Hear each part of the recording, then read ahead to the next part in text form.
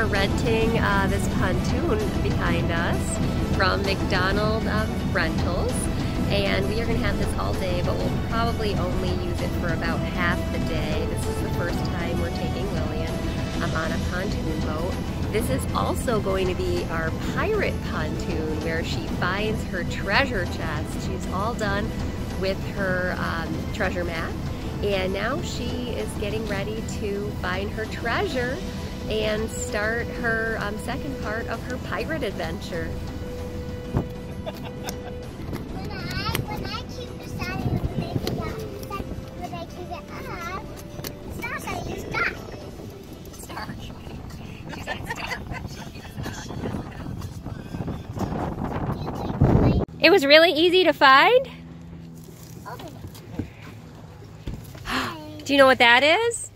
It's an activity card. If you finish it, you get ice cream. What? No, just point the sword at him and say, I'm taking over this boat. Over this boat. Is he going to fight back? No, he's too cute. Well, I guess you're good. Here we are swimming in Crystal Lake. I, I can't. You have to swim to the No, end. you're There you go. On our pirate ship. Are you going to fast, I go but you don't need it, so. I can't go to the Disney lobby to Till August? Yeah, the Bibbidi Bobbidi Boutique. Yeah. They were making her into a princess. We come up to a princess. Can I hold on here too? I'll hold on the other side. Carry her hold on here too. Whoa. Hey Josh, hold the other side of this. Oh, do ya?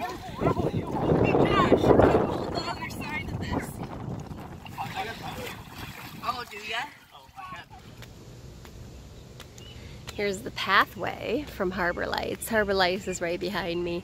Um, it's actually pretty extensive, lots of different types of rooms you can get, but um, that's the part we were staying in. And across from me are some homes in Frankfort. And as you can see, the beach is right there. So Harbor Lights really is the perfect place to stay if you want to hang out on the Frankfort beach. There's swings for the kids, which is always great. Lots of benches, lots of benches to sit on. Volleyball nets. And even when this beach is busy, it's not so busy that you can't find a spot. And here is more of the beach a little bit more close up. There's another swing set.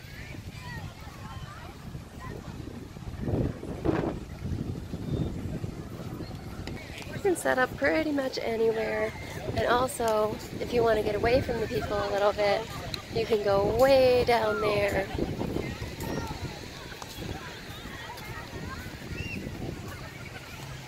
I like to be where the people are myself, but sometimes we go way down there.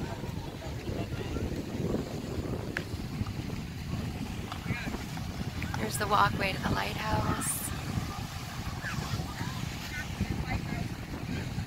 My beautiful family and friends. It is quite a choppy day here today on the beach. You can see the dunes